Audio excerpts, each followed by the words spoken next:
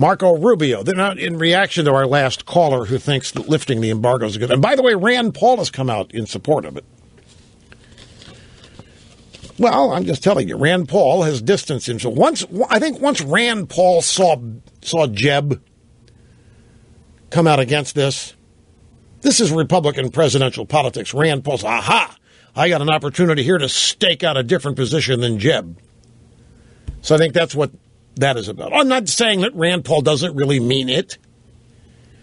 I'm just saying, okay, so Jeb's come out against the embargo or the normalization uh, the embargo being lifted. So Rand Paul, aha, I can go someplace that Jeb isn't, which is uh, an attractive thing. Marco Rubio said that a top State Department official was dishonest with him about the Obama regime's plans to change its policy on Cuba. Tony Blinken and standby soundbites uh, 8 and 9 uh, Tony Blinken, a newly confirmed Deputy Secretary of State, told Rubio at his confirmation hearing uh, last month that the regime would not unilaterally change its Cuba policy without full consultation with Congress. So this this newly confirmed Deputy Secretary of State during his confirmation hearings promised Rubio and the and the people in the committee, oh no no no, we would never unilaterally change our policy with Cuba, not without consulting you first, Senator. And of course, the consultation didn't happen. They lied again. Rubio's out telling the, telling the story. Blinken was confirmed by the Senate Tuesday. Blinken gets confirmed and Obama makes the move. Rubio told the Weekly Standard he was dishonest with us. He was clearly evasive. And it was on Wednesday, after Blinken is confirmed on Tuesday, that Obama announces the move on Cuba. Here are the audio sound bites, November 19, 2014, during a Senate Committee on Foreign Relations hearing on the Blinken nomination of Deputy Secretary of State. Rubio said, Do you anticipate uh, during the rest of the president's term that there will be any unilateral change or any change in U.S. sanctions or conditions against Cuba? absent Cuba meeting any conditions of democracy, human rights, so forth, the things outlined in that legislation. Anything that in the future might be done on Cuba would be done in full consultation with the real meaning of the word consultation that I just alluded to with this committee. Well, it was the real. Well, he lied.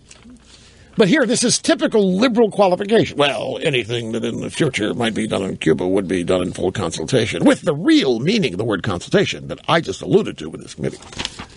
So I guess he's got a different definition of consultation. Consultation is Obama will consult with himself and decide to do it, and that means they've consulted. But Rubio is on point. Hey, I was lied to. This guy lied, and he was confirmed Tuesday, and then Wednesday, Obama lifts him. Then Rubio. Rubio said next, okay, look, there's been some chatter, and I understand some of it's just chatter, as happens in this town.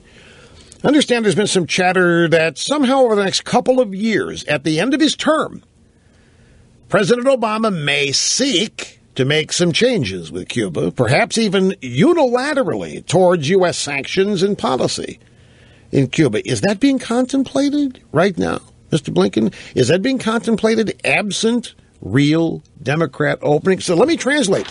Rubio says to me, okay, you say you will not unilaterally changing a Cuba policy without consulting us. Okay, how about the next two years? Are you going to, are there any plans to normalize relations with Cuba without requiring Cuba to make any concessions?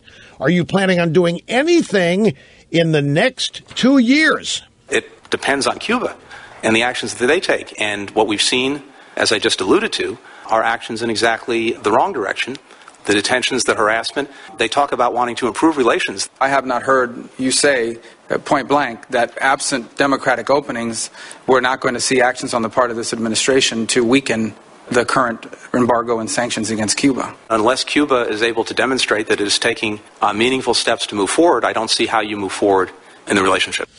That's just last month, folks. That's just last month. Now, what step did Cuba take? Well, whoa, whoa, whoa, whoa, whoa, hang on. There's been a prisoner exchange here. We got back our guy, Gross.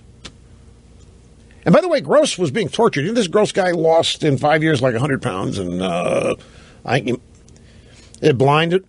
He lost teeth, blind in one eye. But there's a picture, you may have seen this by now, depending on how much you surf the web. There's a picture of Gross in his lawyer's office upon arriving home from Cuba. His, his, a picture in his, in his lawyer's office. He's there with a babe and, and uh, two, two, two people in the lawyer's office and, and, and Gross, and they're poring over documents and doing things to make it look official. And right there on the wall, in the lawyer's office, is a picture of Che Guevara in Gross's lawyer's office. Now, Che Guevara is only a mass murderer, but he's a hip mass murderer because he looks cool and hip. He wore the rebel hat and had the beard. Mean, he looked good in a Bond movie. He's just perfect. Hollywood loves Che Guevara, mass murderer, an enforcer for Castro. And he's held in honor in the uh, in the office of this gross guy's law firm.